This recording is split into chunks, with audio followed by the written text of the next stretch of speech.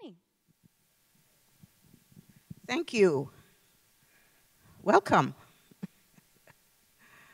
um, everybody calls me Henny. My official name is actually Henya. And uh, that name I received when I was 13 years old. Uh, because before that, during the Holocaust, all documents were lost or destroyed. So I didn't really have a proper ID. But I just wanted to tell you that uh, on the Jewish calendar, today is a holiday. It's called Purim, which is the Persian word for lots, because this evil man by the name of Haman uh, drew lots to figure out which day they're going to destroy all the Jews of the Persian Empire. And it happened to fall on the 14th of Adar on the Jewish calendar, which is today. And some of you might know that uh, it's traditional to uh, read the scroll of the book of Esther on Purim, which tells the story of how uh, the Jews of Persia were going to be destroyed, and then they were saved. And that's really the basis of Jewish history. Every generation and every part of history, somebody tried to destroy us. We survived. Let's eat. So we celebrate by eating these pastries called hamantaschen. It's like a triangular Danish with some nice filling. But if you go to a service, which is pretty short, you read the story of uh, the scroll of Esther, and every time Haman's name is mentioned, everybody uses a gragger, a noisemaker, to drown him out. And in Eastern Europe, if people didn't have a gragger, they'd put Haman's name on the bottom of the shoe and stomp him out. So, um, you know, if you learned any history, you know that people always look for someone else, right, to blame, some scapegoat, uh, whether it's their religion or the color of their skin. And so, uh, Jews who have always been a minority all over the world were a very convenient scapegoat. So whether it was the Babylonians who destroyed the first temple, or the Persians, or the Romans who destroyed the second temple and took everybody into exile, uh, this history has repeated itself. And that brings us to the latest, and that was the Nazis who decided that everything should be blamed on the Jews. If the economy is bad, it must be the Jews who caused it. It had nothing to do with it, as you must have learned, but it was a way to blame the Jews.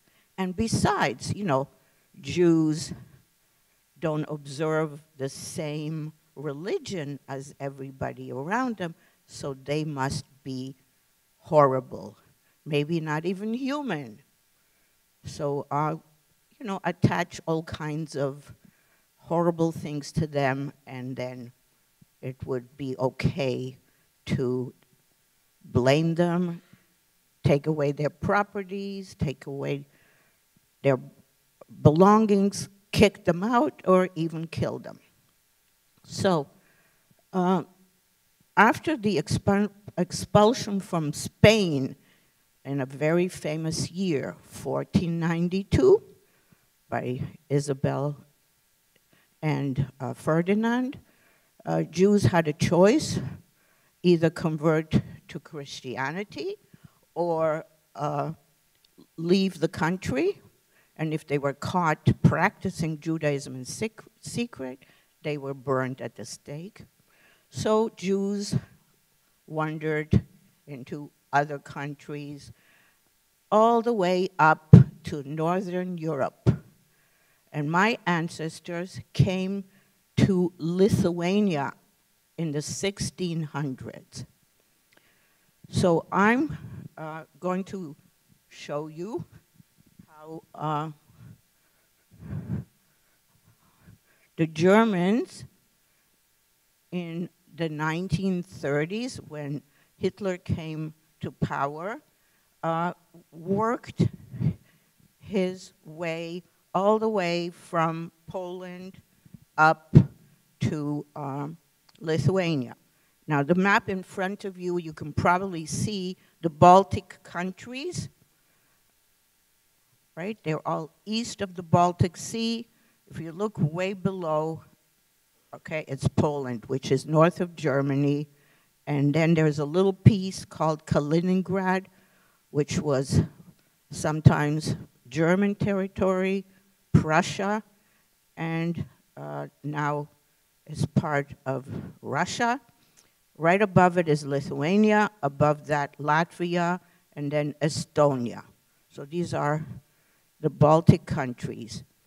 Most Jews lived in Poland. That was the largest Jewish community in the 1930s before the Holocaust. Uh, in Lithuania, there were about 250,000 Jews before the Holocaust, and they were concentrated mainly in two big cities, but also in small towns and villages. Okay, I guess with this wonderful technology, we need a new battery. okay, so you can see Lithuania, and way on the right side, it says Vilnius. Now, Vilnius was the capital of Lithuania for a very long time and is the capital again. Among Jews, it's known as Vilna. Before the Holocaust, like let's say 1939, before the Germans invaded, there were 60,000 Jews in Vilnius. So we're talking about a very big Jewish community. The major publishing houses, schools, all kinds of institutions, sports clubs, uh, you know, unions, groups to the right and groups to the middle and groups to the left, which is normal, uh, all lived in Vilnius. As a matter of fact, in the 1800s, when Napoleon visited Vilnius, he called it the Jerusalem of Lithuania. That's how Jewish it was. The second largest city, uh, if you can look right to the center, it says Kaunas.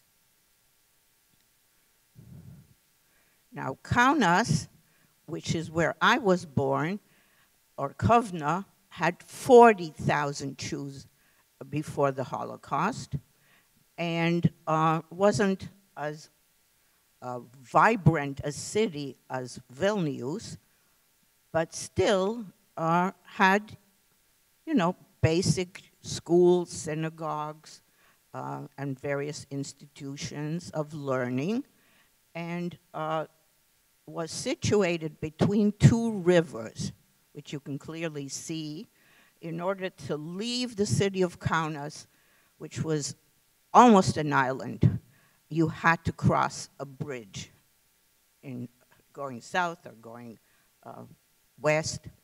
And uh, the city of Kaunas had a very vibrant Catholic population and uh, was very friendly to its Jewish neighbors. I don't remember that, but my parents do. My father's best friend, Jonas Stankiewicz, was a Catholic gentleman who was friends with my dad from the time but they were still bachelors. They both worked as salesmen for a big Jewish company in Kaunas, and they would go out into the countryside and sell uh, for that company. And later, when my dad opened his wall paint business, uh, Jonas Stankiewicz became his foreman and would go out into the country and um, take orders for different paint, for homes inside the home, outside the home, and my dad would mix the paint, and uh, Jonas Stankiewicz would go and deliver it. Let's see if it works now. I think I'll stick to old technology. okay. So uh, if you're looking at where it says Old Town, right, you see a bridge on the left, right? Way over to the left. Okay. My parents lived just below that bridge, sort of the downtown area of Kaunas. But on the other side of that bridge was a slum area. Uh, could probably hold about 6,000 people, very dilapidated homes. And when the Nazis conquered Lithuania, first Vilnius and then Kaunas, they set up the ghetto for all of us from the city of Kaunas on the other side of that bridge in that slum area. And all 40,000 Jews of Kaunas had to take whatever they could and go move into that slum area, into those homes. So you can imagine it was pretty crowded to have all these people in uh, this tight area. So I will backtrack a little and give you the background of my family, okay? My mother came from a little town near the Baltic Sea, and her father was the rabbi, but not uh, like a rabbi of nowadays where, you know, he's got a congregation. His job was to teach little boys in the one room schoolhouse, which was in the back of their little shop that my grandmother ran. She had a shop of textiles. People sewed their own clothing, so they would buy fabric and needles and threads and everything they needed for sewing, whether it was for tailoring suits or for sewing dresses, etc. And so in the front, my mother ran the store. In the back, my grand, my, say my grandmother, yes, uh, after whom I was named. Uh, she ran the textile store. My grandfather taught the little boys.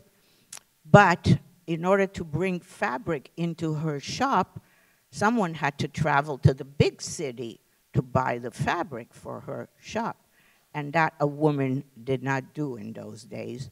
And so my grandfather would have to go and get the fabric. However, my grandfather was colorblind.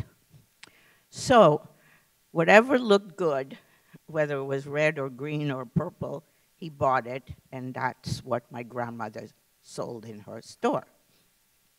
Unfortunately, one trip, horse and buggy trip to the big city, he was stopped by highway robbers, and they took not just his money, but his life.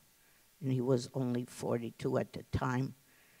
And two years later, my grandmother died and the family said that she died of a broken heart, having lost her young husband. And the children were left orphans. Uh, the group was composed of three sisters and a younger brother. The two older sisters, uh, older than my mother, she was the third in line, uh, continued running the store for a while and then decided they didn't want to stay there. And uh, one of them uh, met a young man whose family lived in Paris, France. And so she moved to Paris. And then she invited her second sister to come and join her in Paris. And the second sister met a young man there and got married, and so they remained in Paris. My mother was still in Lithuania and continued going to school. She finished high school and went to a community college where she learned bookkeeping. And so after her younger brother left for America, where they had two uncles in Pittsburgh, Pennsylvania, uh, he moved to Pennsylvania to study medicine, but later moved to Paris, where his sisters lived, continued his education at the Sorbonne, which is like the Harvard of Paris, and then uh, in the 30s moved to what was then Palestine and is now Israel. So the only one left in Lithuania was my mother. Uh, they sold that store, and she moved to Kaunas, the big city, and became the bookkeeper for this company where my dad worked as a traveling salesman, and that's how they met. So uh, I was born in January of 1940, a little over two years after they were married, and they were considered middle class. They had a nanny for me for a while to take care of me since they were both working, and life was good. They even bought a piano because their baby was going to learn music, of course. But those good times uh, didn't last very long. Uh, I was a year and a half old when the Germans invaded Kaunas. They invaded on June 22nd, and they gave us until August 15th to move to the ghetto.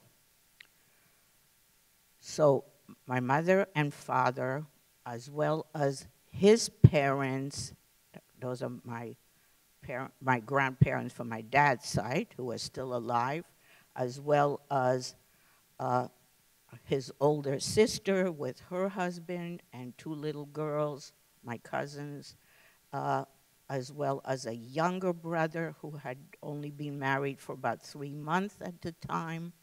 So cousins and uncles and aunts, the entire family from my dad's side moved into the ghetto with us. This is a picture of my mother on the left, her brother, the one who studied uh, in uh, Pittsburgh, Pennsylvania, Penn State actually, and uh, one of her sisters uh, who lived in Paris we have this incredible picture of my dad's family. The little boy way on the right is my dad. He must have been about seven at the time.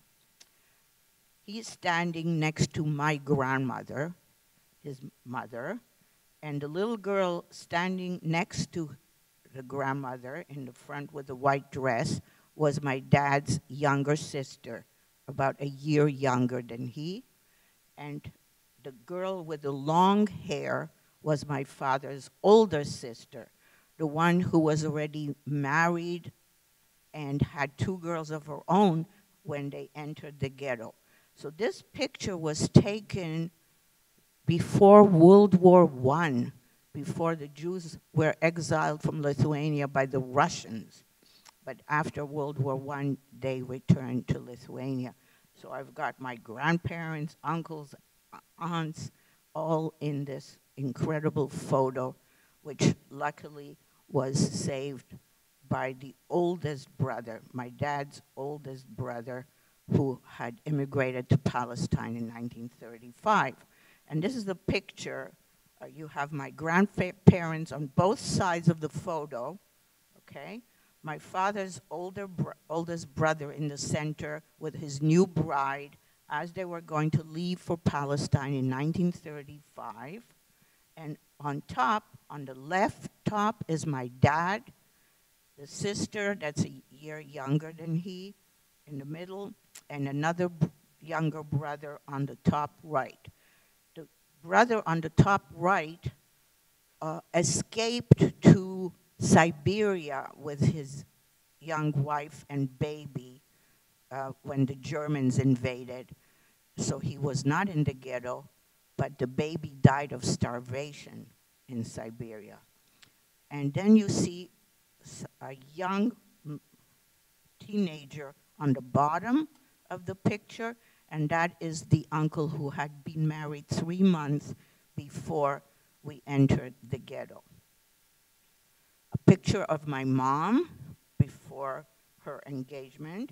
Uh, a lot of the pictures I was able to retrieve from relatives in Pennsylvania and those who immigrated to what was then Palestine. Uh, some relatives in Paris had pictures. Otherwise, I wouldn't have anything. My dad was quite a skater, and you saw from the picture of my mom standing next to water, well, uh, you saw that Kaunas is situated between two rivers, but Lithuania had many streams and many rivers, and it seems like uh, if you weren't a swimmer, then you were a skater. That's my parents at their engagement, my parents at their wedding. Didn't she have a gorgeous dress?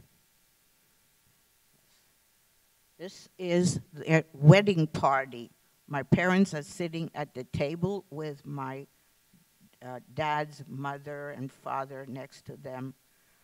Out of this entire group, besides my parents, only three other people survived. Everyone else was killed by the Nazis.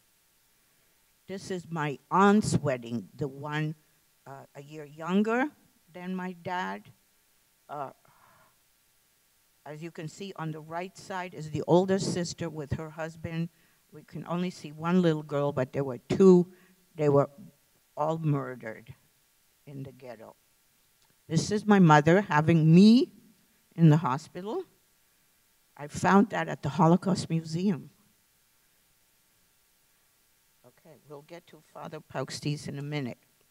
So, uh, when we entered the ghetto, uh, everybody was assigned an apartment, and the apartment that we lived in uh, had three floors, uh, the apartment building. And we lived in the bottom floor with several other families. Obviously, uh, buildings were very crowded to have 40,000 people crammed into where only 6,000 could fit. So uh, in the beginning, you could see children in the street playing, uh, you know, uh, women who had babies walking with the carriages in the streets. But uh, very soon, uh, things got really, really bad. This, the ghetto was sealed on the 15th of August, but three days later, uh, the uh, German authorities asked for 500 male volunteers. They said they had very important work for uh, men who knew languages, many languages, especially German and Lithuanian, and could translate important documents for the Germans. Was a very uh, cushy job, it sounded like we better take this kind of opportunity because uh, we might stay alive this way. So immediately 525 men, actually 526, volunteered for the job, so they didn't want any more.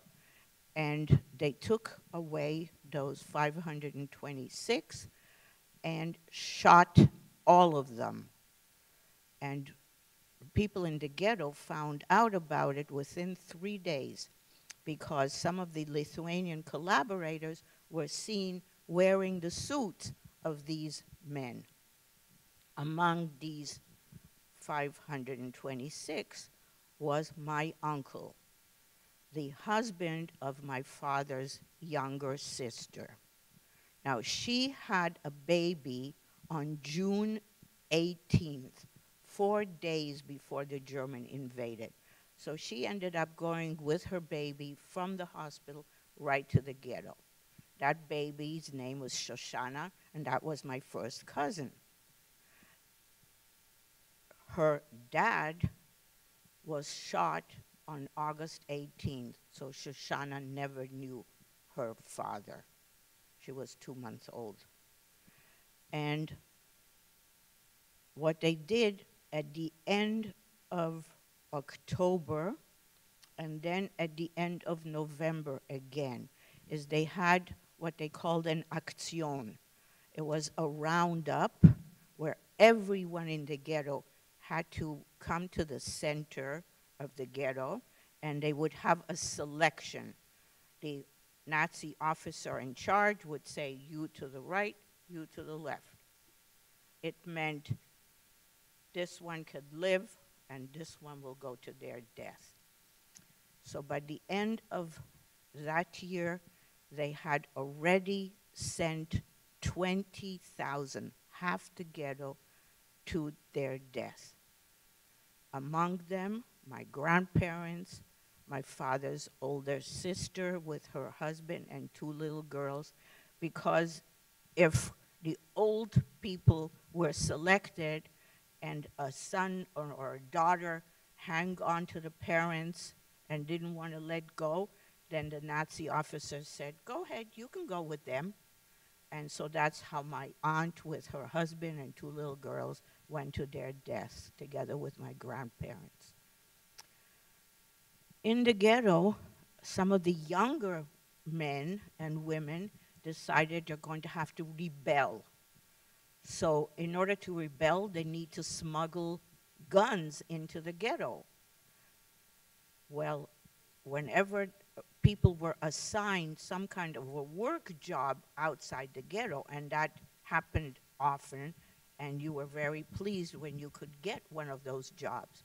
Working at the airport that the Germans were building, or working uh, as a woman in this factory where they were sewing uh, uh, uniforms for the Germans and so on. So uh, my youngest uncle, the one who was a newlywed, tried to smuggle in a hand revolver inside a loaf of bread when he came back into the ghetto at the checkpoint where they, you know, examined everybody who was coming back at the day's work. Well, they cut the lo- Oi. They cut the loaf of bread and they found his revolver, his handgun, and they shot him right there on the spot. Uh, so the ghetto, even though we call it a ghetto, was really a death camp. It wasn't like uh, Auschwitz, you know, uh, where they have they had uh, uh, places to, you know, to burn and, uh, sorry, I get very emotional about that. So let's leave it at that.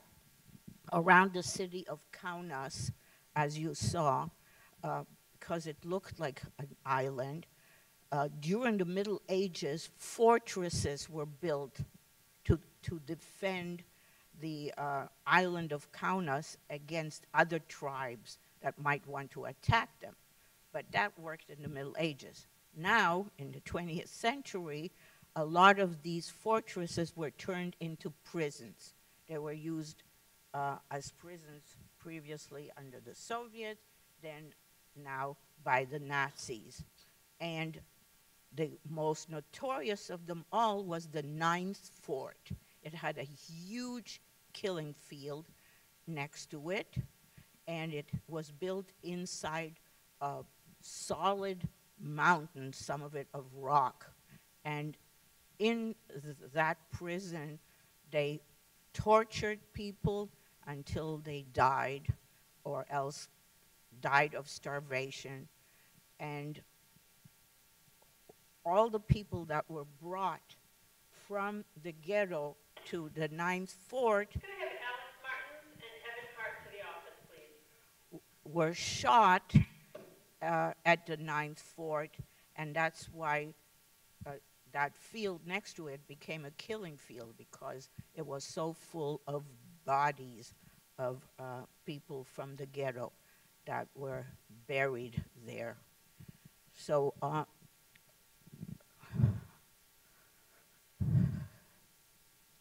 my mother heard about a Catholic priest who had a school for priests on the other side, on the downtown of Kaunas, the other side of the bridge, and word reached the ghetto, and my mother heard about it, that this father, Paukštys, said that if children, especially babies, could be smuggled out of the ghetto to him, he will find Christian Lithuanian families willing to take these children. And uh, he even had a very talented student who was able to create fake birth certificates with new names, new Christian names for these children that would be smuggled to him. So, first my parents decided it's we, children should be hidden because they heard that in another ghetto there was a roundup of Nazis with dogs, and they went from house to house and they uh, took the children, even though they used an excuse, they said we're taking them to be immunized. Those children were never seen again. And so my mother and father decided it's going to come to our ghetto as well. Of course, people didn't want to believe that humans would do that to other human beings, so they would kill children. But my parents wanted to make sure. And what they did is first, my dad built a fake wall. He put up a wall under that very steep staircase between our first floor and the next floor in our building. And only the people who lived in that building knew that there is a space behind that wall because my dad put some shelves on it and it looked like, you know, that's been there all the time. Uh, people would put, you know, some of their belongings on the shelves, but everybody in our apartment knew that this wall is movable, and that's where I played with my little cousin Shoshana. Now, she was a year and a half younger, and so I called her Lalka, which means doll. I was older, and so she was my little toy. Uh, I played with her hair. She was so cute. She had these cute little black curls, and uh, we would make things out of paper create, you know, little hats or boats and take them apart and put them together again. And we spent a lot of time in this little uh, space, which was known as the Malina. Uh, in the ghetto, you had a vernacular that the Jews knew, and the word Malina actually in a Soviet languages means raspberry. But because Yiddish, the language that we spoke, uh, is a Germanic language, uh, Jews didn't want the Germans to understand what they were saying. So if you said, you know, we are, or the kid is in the raspberry, they wouldn't understand, right? So uh, those were code words used in the ghetto. And so whenever my mom and dad or Shoshana's mother were assigned jobs, Shoshana and I would play in this Malina. Well, one day Shoshana's mother was on the list that would appear periodically of people who are being sent somewhere else. They were told they were being sent east. Eventually, they were actually sent to concentration camps, to death camps. And Shoshana's mother was sent to a concentration camp. Uh, my mother and father decided we have to get smuggled out as fast as possible before they too will end up on one of those lists. And that would be the only way to save our lives if the parents will get killed. So my mother was able to get a job with a women's group. Uh, it was called the Women's Brigade. About 10 or 12 women were assigned to a truck or a big wagon with people's belongings, people's suitcases, people's bundles of, you know, things that they owned when they were being taken to the Ninth Fort for, to their death. or they were being sent elsewhere to their death, their belongings were left behind. And so the job of the women's brigade was to go with the truck and all the suitcases and bundles to a warehouse that was set up on the other side of the bridge into downtown Kaunas. So whenever my mother was able to get a job on that, with that women's brigade, she would visit Father Paukštys, the head of the uh, seminary for priests. And I'm sure he was very impressed with her. She was very intelligent. She was, you know, a lot of spunk. She spoke Lithuanian like a farmer because she came from, you know, from that small town in near the Baltic, uh, where everybody around her were farmers around that area, and uh, she had also she also knew German because when she went to high school, that was the language of instruction.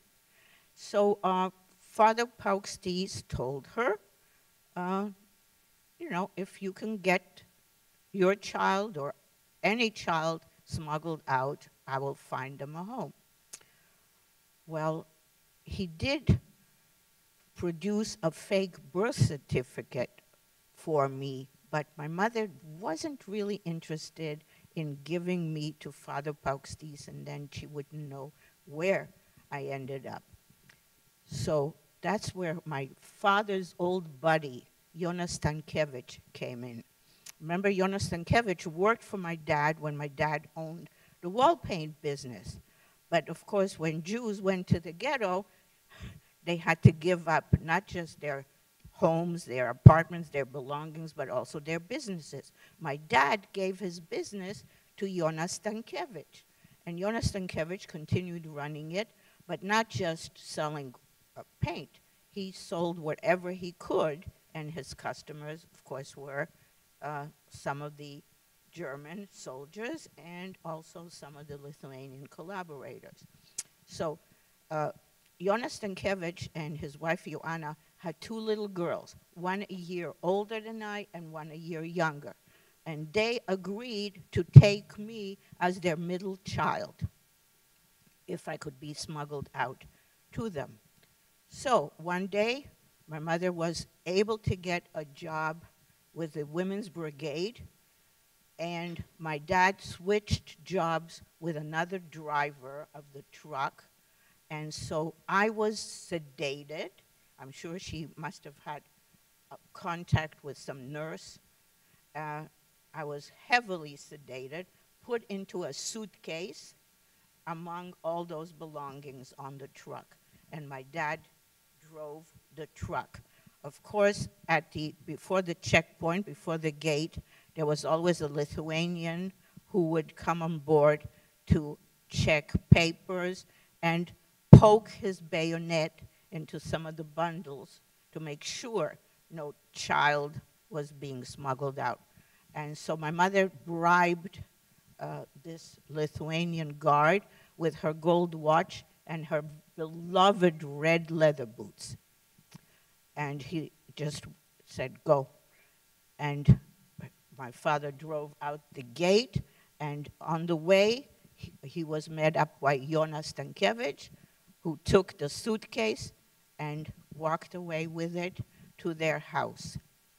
And I must have been really, really, I would say maybe brainwashed, but certainly instructed very well by my mom, because I was three and a half at the time. We're talking about 1943 when I was uh, smuggled to the Stankiewiczes, that I'm going to call them Mama and Papa that they have two little girls, they're going to be my sisters.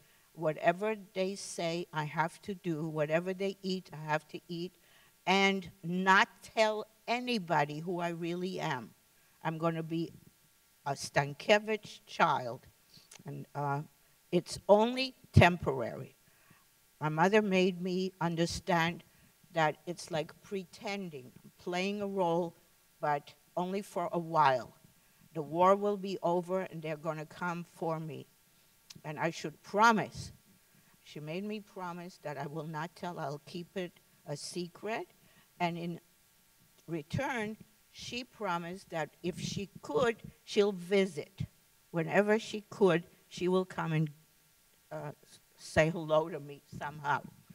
And she kept her promise. Because uh, one night I dreamt that my mother was kissing me, and it turned out that she had actually been there. But the craziest one was a Christmas party at the Stankiewicz household. Santa Claus appeared, brought me my stuffed bulldog, my favorite toy that had been left behind in the ghetto. But when I looked down at Santa's feet, Santa was wearing my mother's shoes. And you can imagine that I almost blurted out something, and Mrs. Stankiewicz quickly put her hand over my mouth so I don't give it away. Uh, but uh, my mother really was crazy in a way. As a matter of fact, she got the nickname of Gita. Her name was Gita, Gita the Meshuggah, means Gita the crazy one, because she was telling people that the Germans are going to kill children, and people in the ghetto didn't want to believe her. Some people thought maybe she's right, and they did uh, give her their children to smuggle out the same way that she smuggled me out, except that she needed to take them to Father Paukštys.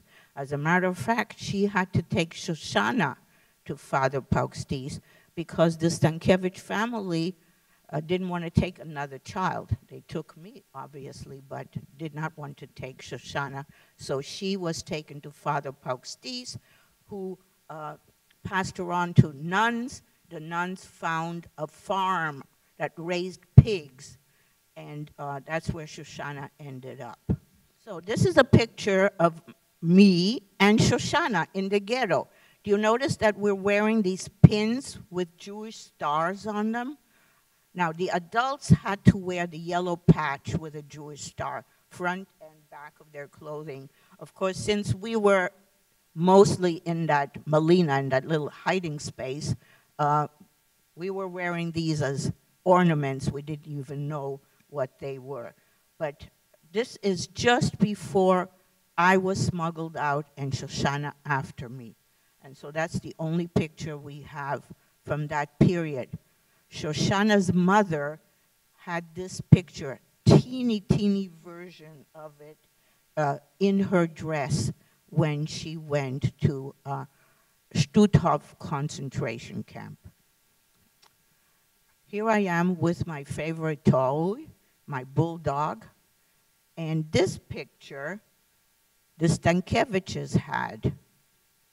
Can see, right?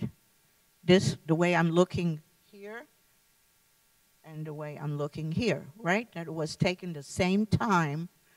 And that picture, 50 years later, when I decided that I need to go back to Lithuania to find my rescuer, my righteous family, the picture that she had proved that she is Mrs. Stankiewicz, because obviously I didn't recognize her.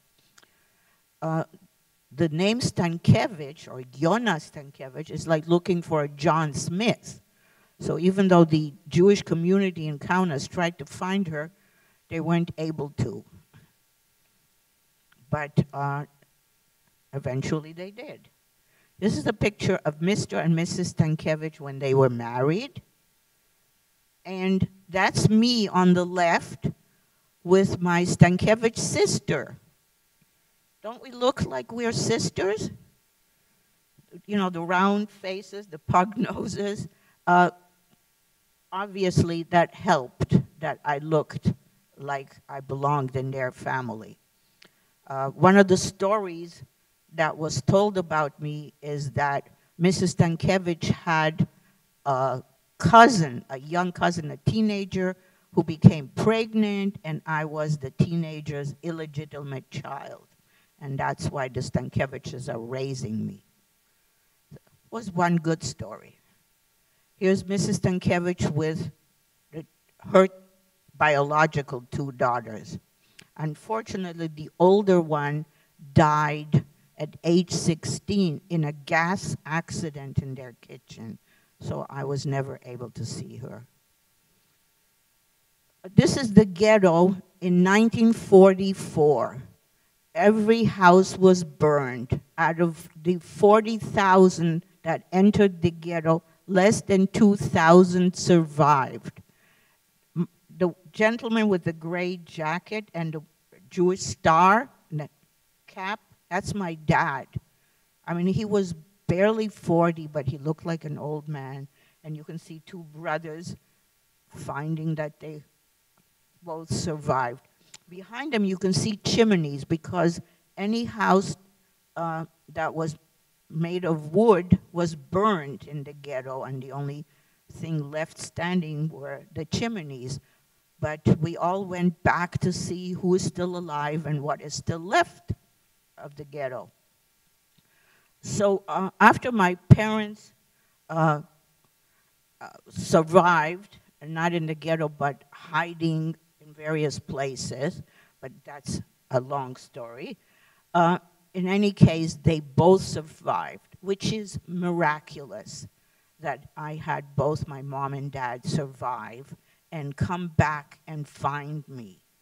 Uh, it took a while for them to find me because the Russians who uh, liberated, in quotation marks, Lithuania, right, and the Germans escaped, uh, the Russians were arresting anybody who was a capitalist during the German period and anybody who made who did business with the Germans. So of course, uh, Jonas Stankiewicz, who had run my father's old business and did you know business with the Germans, he would have been arrested. So Mr. and Mrs. Stankiewicz, with their two daughters and myself, escaped to a farm in northern, northern Lithuania where Mrs. Stankiewicz originally grew up near the Latvian border. But after a few weeks, uh, my parents did find me, and eventually Mr. Stankiewicz was arrested by the Russians. And he was given 20 years a pu punishment of 20 years of hard labor in Siberia. But my parents interceded on his behalf, so then the judge cut his punishment to 10 years of hard labor in Siberia. But it turns out that uh, the Stankiewiczes were in Siberia less than four years and then went back to Lithuania. So after they found me, my parents decided they have to look for Shoshana. They knew that her dad was shot right in the beginning of the ghetto, right? And then they also knew that her mother had been sent to a concentration camp, and when the war was over, she didn't return. So they were sure she also had died, and they weren't going to leave her there. So they tracked her down on that pig farm now, she wasn't taken as, as good care of as I was. I, with the Stankiewiczes, uh, ate what they ate and played with my sisters, and uh, they treated me really nicely. But the farmers that had Shoshana did not treat her very nicely. She was hardly ever bathed. Uh, she had to take care of the pigs. And so uh, she had wounds all over her head that it took a while for my mom to treat. Uh, and then uh, my parents decided to adopt her.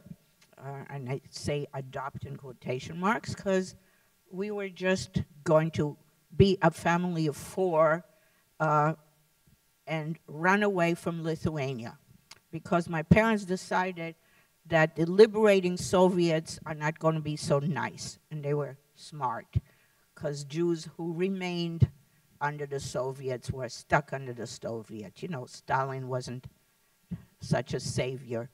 So, uh, in order to go to where the Allies had set up refugee camps. Anybody know where the Allies set up refugee camps for us survivors of the Holocaust? No? It was Germany and Austria. Okay? Mostly the Americans set up refugee camps in Germany, in, in the conquered Germany, and the uh, British uh, set up many camps in Austria. So my parents decided they wanted to get to Germany to one of those refugee camps, uh, which the Americans called displaced persons camps. Much fancier than refugees, right? So we were DPs. But in order to get to Germany, you have to travel through Poland. So my father bought a passport from a woman whose Polish husband uh, was killed during the war. And in this passport, he placed a photo of us as a family of four. And you're looking at the picture from this fake passport that we are Poles returning to Poland. Uh, the stamp uh, over Shoshana's face and jacket says Polska, which is Poland. I have to tell you that trip through Poland was a nightmare, which I still remember to this day, because at every stop on that train ride, uh, some soldier would come on board with the vicious looking dogs to check documents. The trip took three or four days and Shoshana and I, as well as my mother, had to pretend we're mute because the only one who spoke Polish was my dad. So, since we're a Polish family, uh, we just had to keep our mouths shut. My dad brought that up when I was a teenager years later. He said, When you were five years old, you knew how to keep your mouth shut. So, uh, Don't mouth off to your parents. Here we are, finally in Germany. And believe it or not, this picture was taken for the New York Times. Uh, somebody, I guess, from the United States came to our displaced persons camp in Germany and wanted a picture of survivors so that's my dad, myself, and Shoshana in front of a monument that was erected there in memory of those who perished. And uh, we're both wearing the same clothes and the same bows. And we were sisters for quite a while. Uh, first, we ended up in this children's center. On top it says Zeilsheim. Zeilsheim it was a suburb of Frankfurt. Frankfurt is a big city in Germany. But Zeilsheim had a military camp, a German military camp. And so what the American army did is took over that military camp and put refugees into the different barracks. And when they ran out of space in the military barracks, the latecomers which was us, were put into German homes together with German families. Many were actually just the women and their kids because the husbands had been soldiers. So we ended up uh, with uh, a family of a woman and her son. Son was about my age. And uh, my mother, who spoke German, became good friends with the Hausfrau, the lady of the house, and they worked out schedules when we would cook and eat and when they would cook and eat. And of course, I played with the boy and with other kids in the uh, town, as children's tend to do, and uh, learn the language, of course. So fortunately, I didn't have to stay at that children's center too long. Well, Shoshana and I. Uh, what I do remember is that in order to fatten us up, they gave us these high calorie foods And they also gave us a mug with hot milk every morning. And within about a minute, this real yucky skin would form on top of the hot milk. Really gross. Even the piece of chocolate that they gave us didn't make it more palatable, and I don't like milk to this day. What I do remember that was really nice is uh, one day in the bedroom where beds were lined up on both sides of this long room where a bunch of us little girls of different ages uh, slept. Uh, one morning, a woman brought out a tray, and on it was a birthday cake, and it turned out to be for me. I had turned six, and so that was the first time I actually had a birthday, and it was, you know, quite memorable. Nowadays, birthdays are not that important, but they, it was sure exciting when I turned six. But after that, my parents took Shoshana and me to their home, so we didn't have to be in the children's center anymore. So that was neat. And also, I started school because I was six. I started first grade, and Shoshana started kindergarten. Uh, here we are with a bunch of other kids. My dad is the gentleman in the back. Shoshana and I are in the front, and a little girl who I still remember, her name was Sarah. She was an orphan, and she just hung on to Shoshana and me. Wherever we went, she wanted to be our sister, too. Uh, I found this at the Holocaust Museum in Washington. A little girl in the back lighting the Sabbath candles is me. So this was set up by the Americans, a Jewish school for us, and obviously we got to celebrate Sabbath and Jewish holidays. Uh, luckily, I was able to find several pictures uh, at the Holocaust Museum. Uh, this one is my mom and Shoshana. Here, Shoshana and I are wearing the suits. As you can see, they, we call them training, uh, training suits. They came in care packages from America and it still exists. Uh, you know, when people in America contribute uh, some of their used clothing or even some food items and it gets sent to refugees, uh, this is what we would get. Uh, and we would go through a package of clothing and see what we could wear or what needed to be unraveled and reknit or resewn for us. The two things that I still remember that I loved Hershey chocolate bar and Lipton chicken noodle soup. Okay, one more thing that I did like is spam. I don't eat that anymore.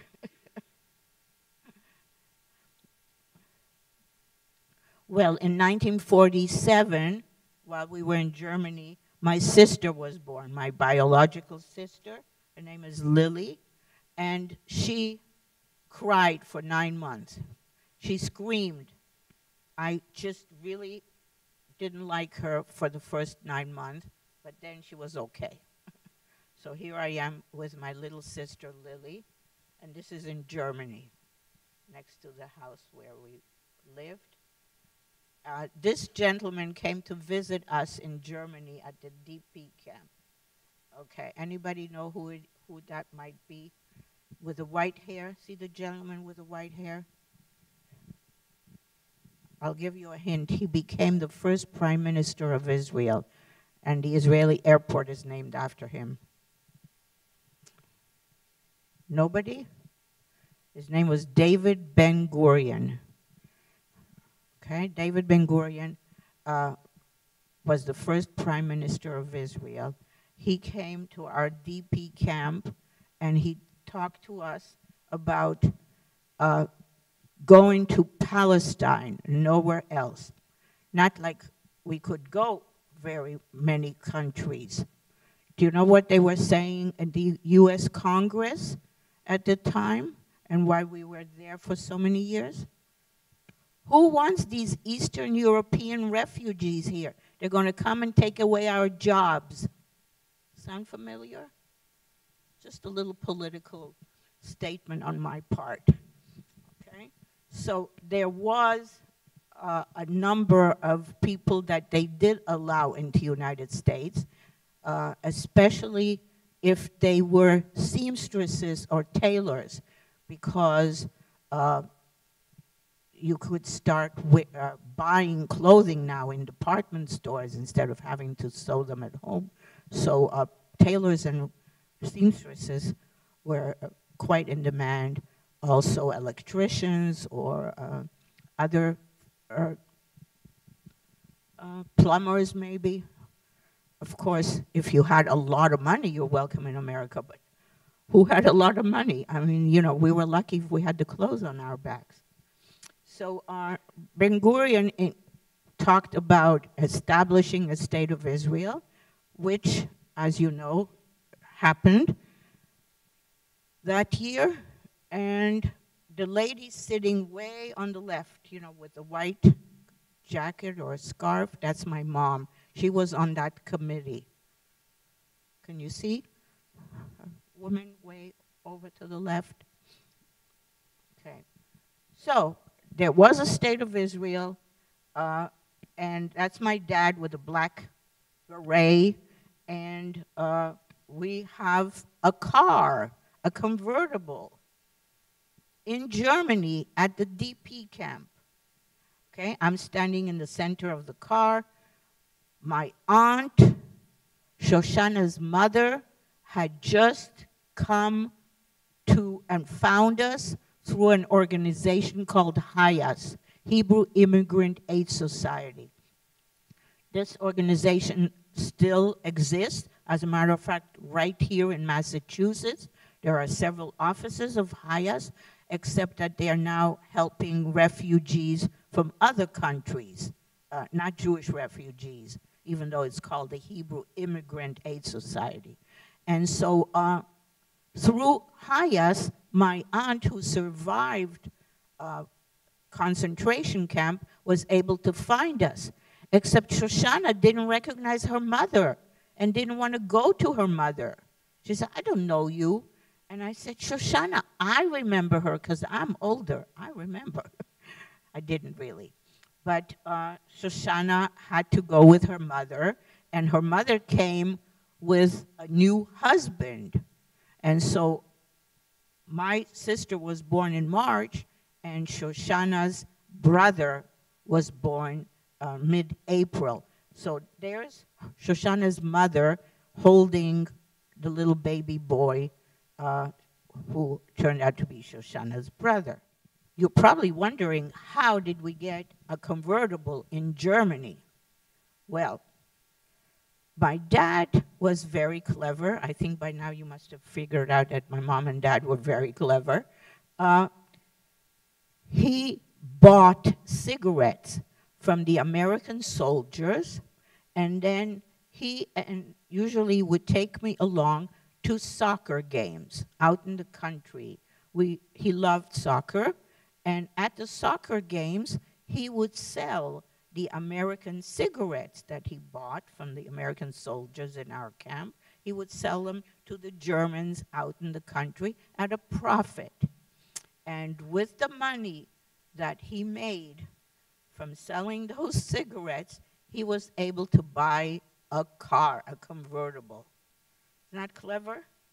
And then before we even left Germany, he opened a store uh, where he sold refrigerators and stoves and uh, dishes, silverware, things that people need if they move to United States or Canada.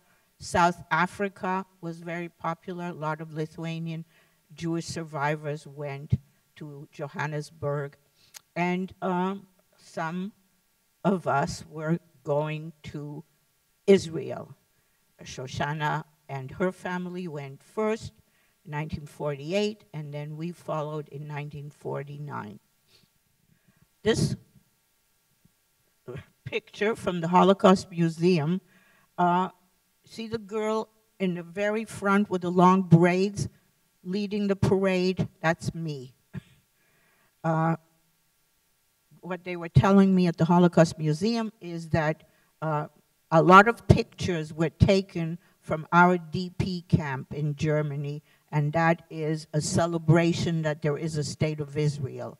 And, uh, it, you know, it just said these children are marching to celebrate Israel, but I recognize myself, obviously.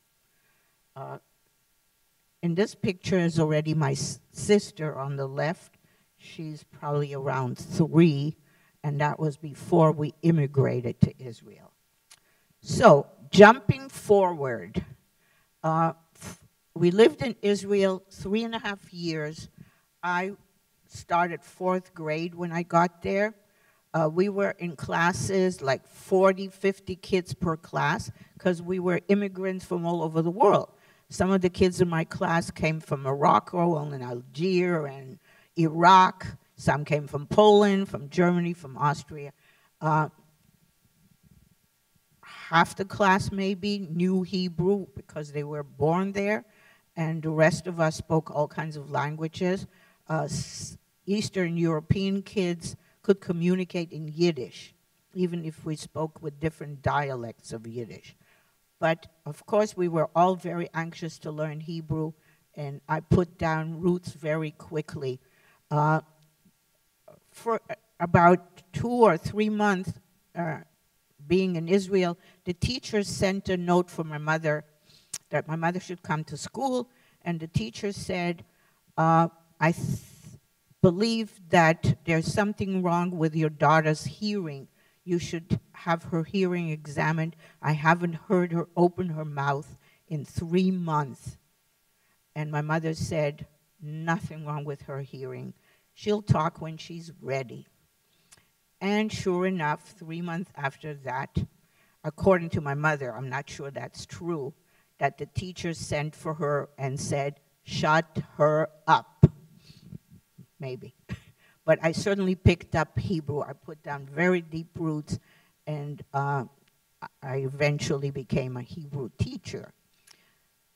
But unfortunately, we only lived in Israel for three and a half years because my mother became very sick in Israel. The tropical climate apparently was killing her, and the only antibiotic at the time was penicillin, and she was allergic to penicillin. So she was so bedridden that she was just losing weight. And this professor at the Hadassah Hospital in Jerusalem said, You're going to die if you continue living here. You have to go to a cold climate. And so they had a relative in Montreal, Canada. Talk about cold. That relative sponsored us, and we immigrated to Montreal. And my mother became well because she did very well in the cold climate, so I guess he was right.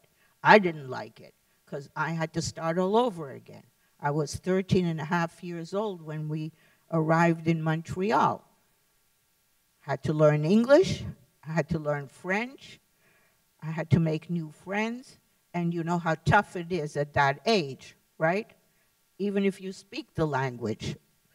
Uh, I still remember my English teacher made every single kid stand up and read Shakespeare out loud.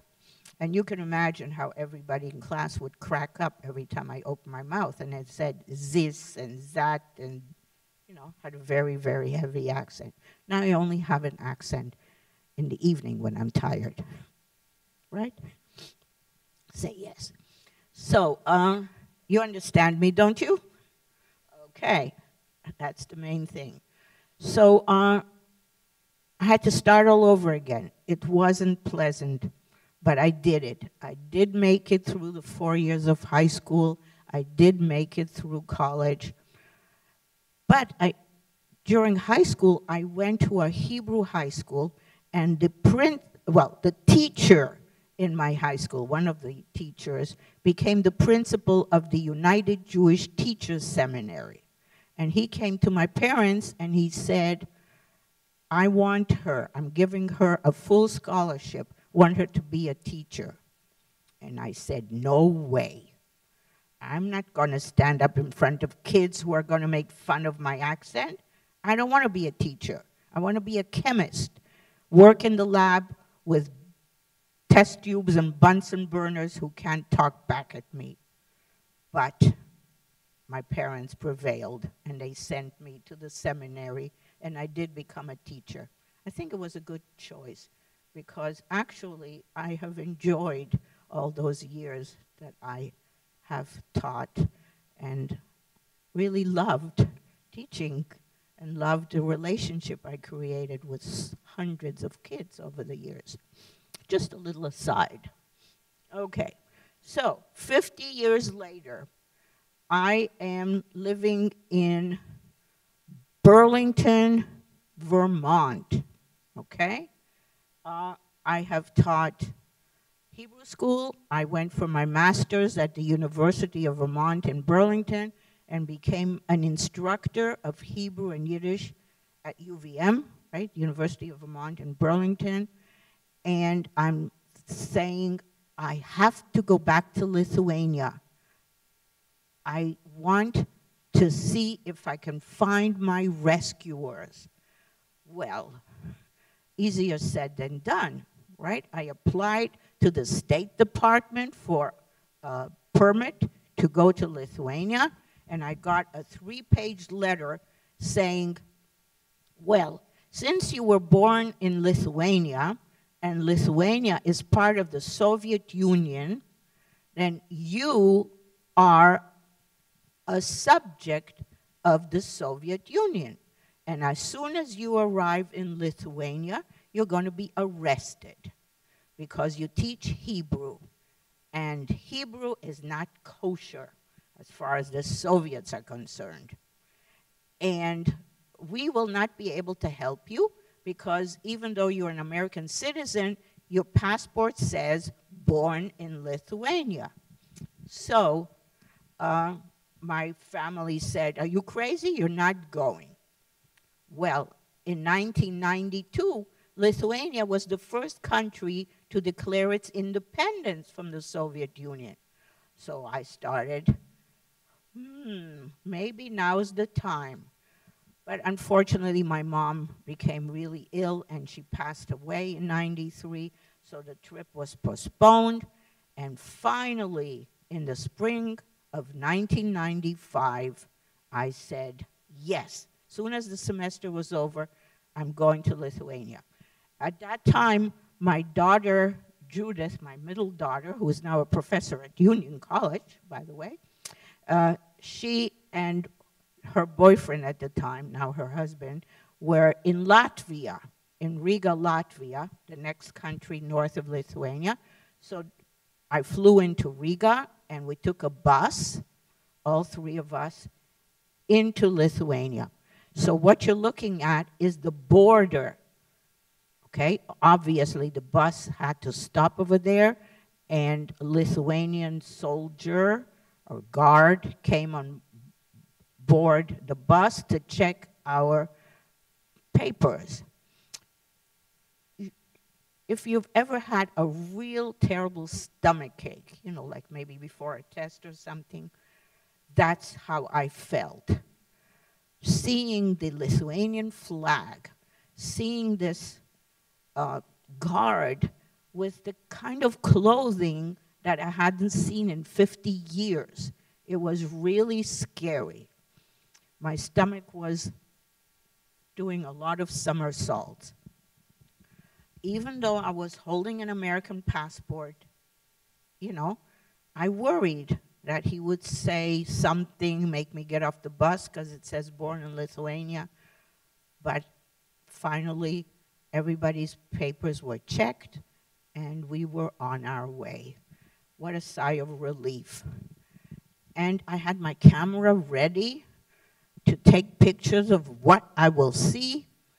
And the first thing I saw was an old windmill. And just before I saw it, I said to my daughter, Judy, there's going to be a windmill. She said, Why?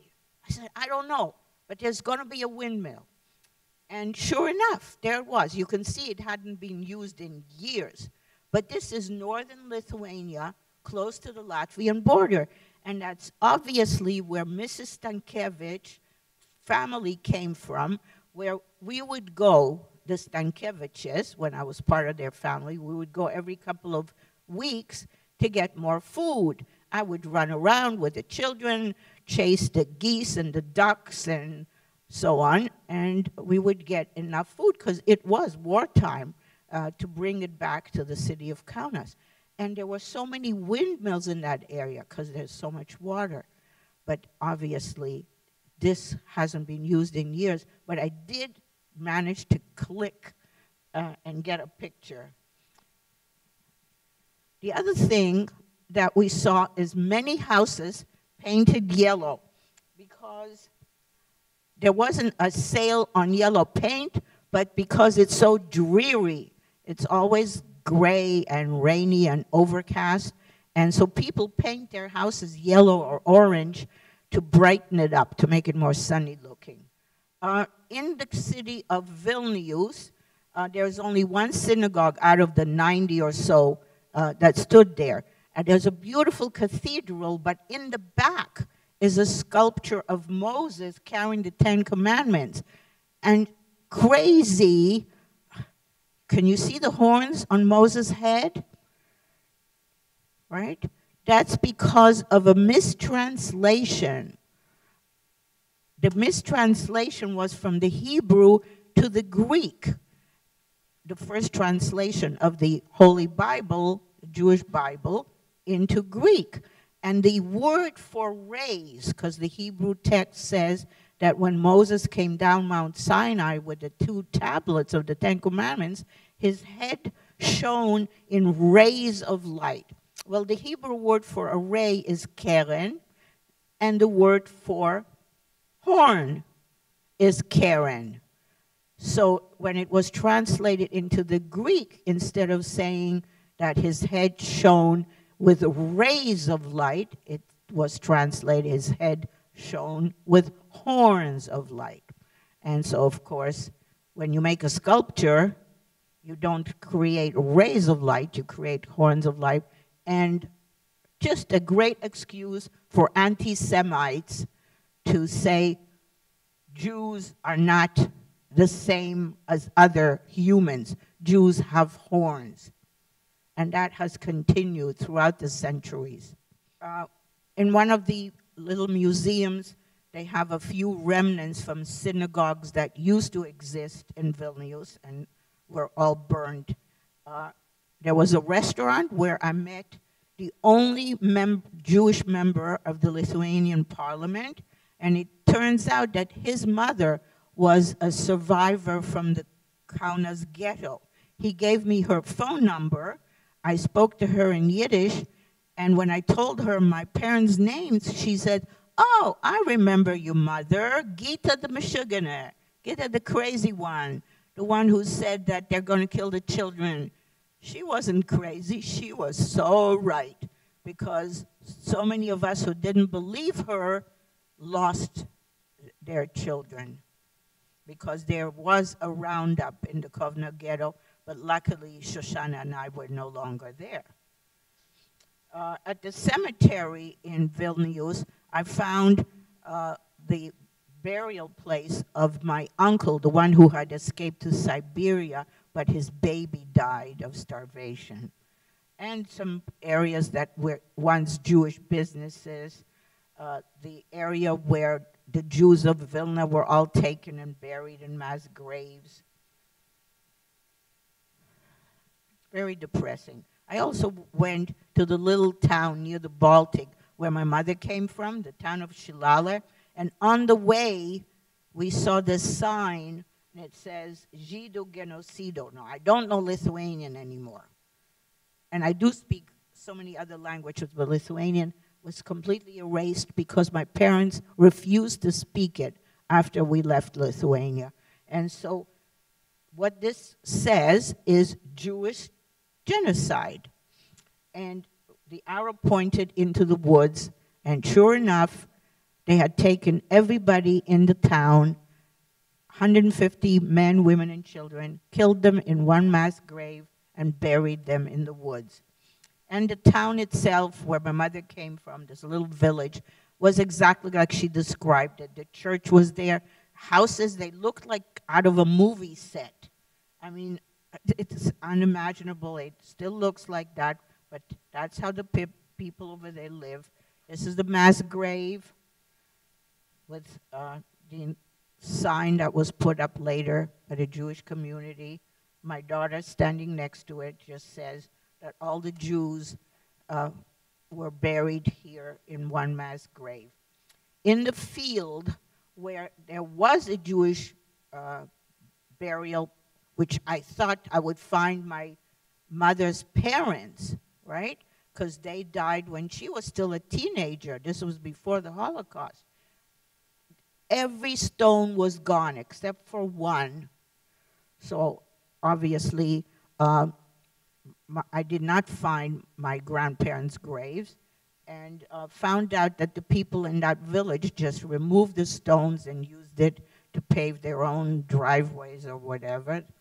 And uh, the year after, when I went back again, that one stone was lying flat on its side.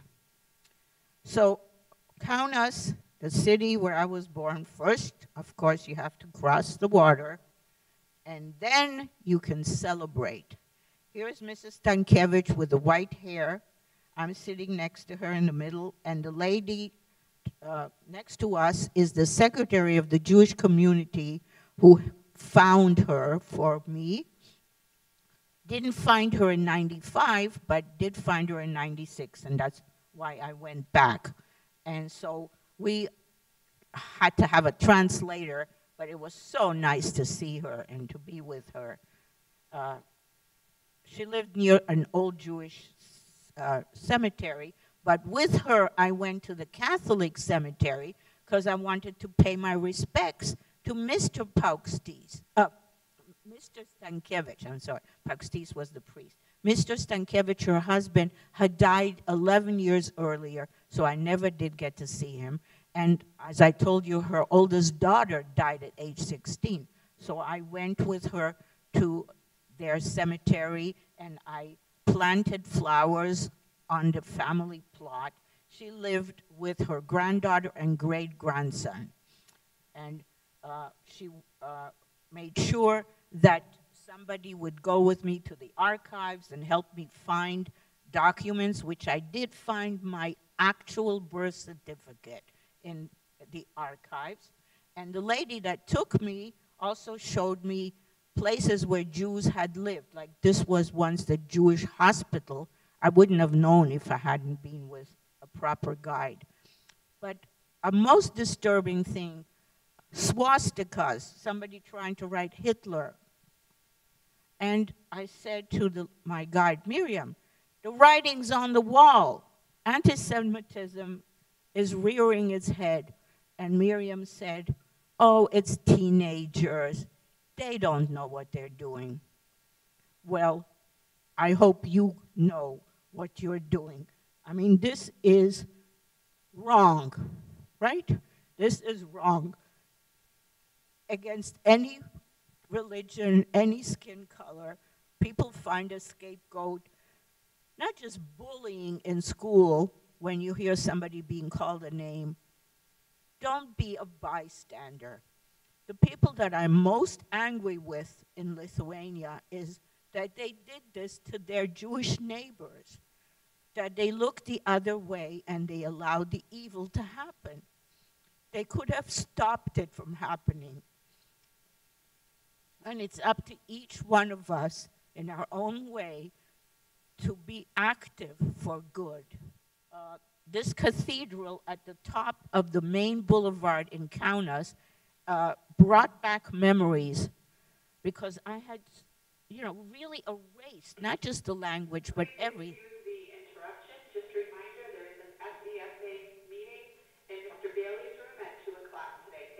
Right.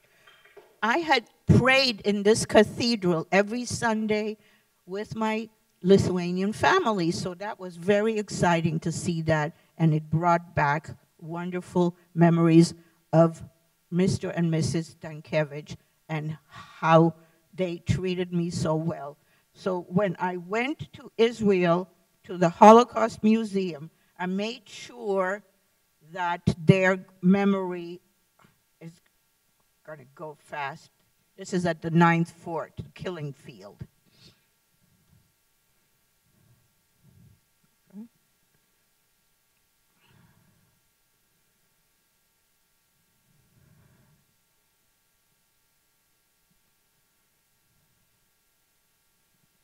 My parents are buried in Montreal, and that's my sister, now an adult. And on the bottom of their monument, it says, Whoever saves one soul saves an entire world. That's a Jewish tradition, and I feel that my mother and father saved many souls, so they saved an entire world. And that, those are my parents at their 50th wedding anniversary. And here I am at the Holocaust Museum in Jerusalem, where the different communities have stones with the names of the community. I'm standing under the city of Kaunas. Thank you so much for your attention.